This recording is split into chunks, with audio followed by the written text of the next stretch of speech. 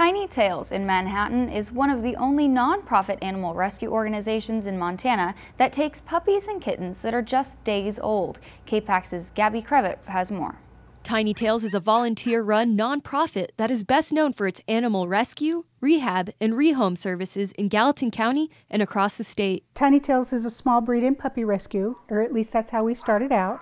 We are now taking in livestock and we're taking in pocket pets and pretty much whatever is in need of care. Tiny Tails recently purchased an incubator thanks to the support and donations from individuals interested in helping the organization out. Recently, we have been getting in a lot of newborns, abandoned animals, or animals that have been rejected by their mama, like this little guy.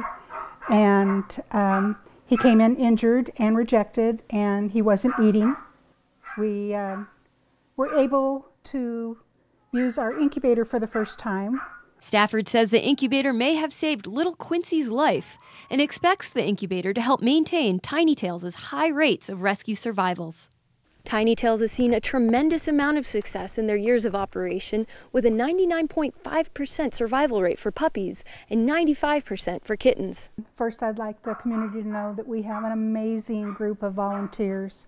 We've been very, very lucky that we've had community support because we don't get any city, state, or federal funds. Tiny Tails is now looking into buying a scale and microscope for their operations. You can find out how to donate to Tiny Tails at our website. In Manhattan, Gabby Crevitt, MTN News.